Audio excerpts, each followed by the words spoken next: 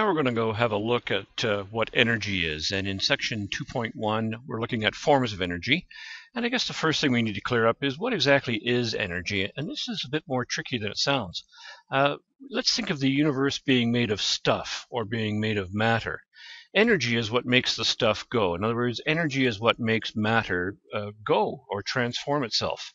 We can define energy as the ability to do work we measure it in amounts called joules, represented by a capital letter J. This is named after a fellow called James Prescott Joule. There are many forms of energy, and we're going to show you some of them in this presentation. I also want to remind you from our previous work that whenever we have forces acting upon an object that are not balanced, then we are going to see an acceleration or a change in motion of that object. One form of energy we have is chemical energy, and some examples of this that are man-made. Uh, we see here a cannon going off. Uh, of course, what we're doing here is we're doing a chemical reaction of gunpowder, where we ignite the gunpowder, it combines with oxygen, produces a huge amount of gas, and propels a cannonball forward at great speed. But other chemical reactions, of course, take place in, in nature. So here we see an example of photosynthesis, where light shining on a green leaf causes the green leaf to consume carbon dioxide and water, and it produces oxygen and carbohydrates for us to consume.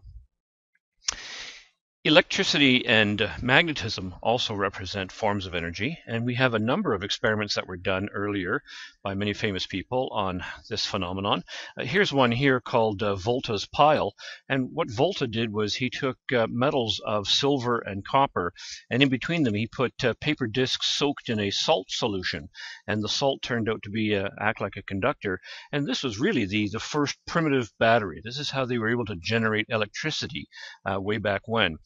Now, further work was done by a fellow called Michael Faraday, who discovered what's called the, the law of induction, which very simply says that if you take a magnet, as you see here, and you move it in and out of a coil of wire, you will generate a, a current of electricity. And this will only work while the magnet is moving. So if you ever stop, nothing will happen. Uh, did a rather interesting experiment where he passed a wire that was carrying electrical current over a compass needle, and he discovered that it would deflect the compass needle. And so what we found out here is kind of like what Faraday did, that there's a definite connection between electricity and magnetism. Seebeck uh, built a thing called a thermocouple, and what this is is uh, two different kinds of metal, which when heated uh, cause it to generate an electrical current. We also have nuclear and solar energy. Uh, here's a diagram of what actually takes place inside of our sun.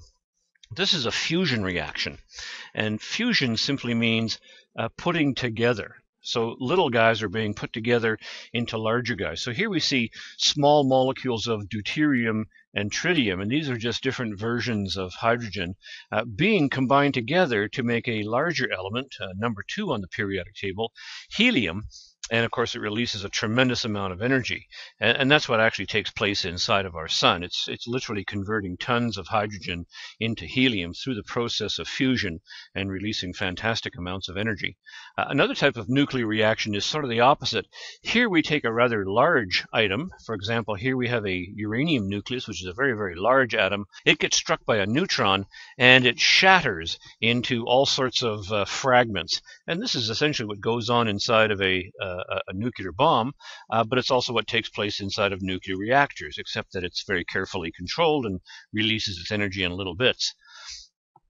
Other types of energy that we need to consider are, are, with regards to movement of objects. And so one type here is what's called potential energy. And so here we see a, a kid with a large ball on top of a hill, and we could say that this ball has a lot of potential. It doesn't do much right now, but because it's up high and gravity pulls it down, we can very quickly make it do this, where now it moves. And so this is an example of what we call kinetic energy. And so this is a beautiful example of how we can convert potential energy and turn it into kinetic energy or the energy of a, of a moving object. There's also heat energy that we need to have a, a consideration of. And this one was tricky one. This one eluded uh, many scientists for a long time. Nobody really knew what heat was or how to define it. Uh, some attempts were made. A fellow by the name of Joseph Black, he proposed that heat was some sort of invisible liquid that he called caloric, and it flowed from hot objects to cold objects. So as you can see in the diagram here, we have a hot object in red. It's uh, it's warm. It it uh, it produces a flow of caloric fluid towards a cold object here shown in in uh, in blue. But the question remained, where does this heat come from? Well, further research was done by this fellow here. This is uh, Count Rumford. He was actually an American living in Europe at the time and he was responsible for uh, boring cannons. So here's a picture of how they made cannons back in the day. They literally uh, molded the cannon and then they bored out the hole with a boring machine. And what he noticed is that you, it seems like he had an almost inexhaustible supply of heat here, and that for so long as you kept up the friction of the boring machine on the cannon, you could keep on producing heat uh, seemingly forever. And so Rumford reasoned that uh, for this reason, heat could not be this uh, invisible fluid called caloric, because where is it coming from? Well, it, it can't be a liquid. It, it must be something that's created by the, the motion or the movement of whatever is inside of these objects. This was further refined by a fellow called James Prescott Joule, and what he did was he built this rather interesting apparatus where he had a series of paddles immersed in a flask of water, and there was a weight which caused these paddles to turn. So as the weight dropped down, these paddles turned. And inside the water, he had a thermometer. Now, of course, what he can do right here is with this weight falling down, he can actually calculate uh, how much work is done by this falling weight using the force times distance equation.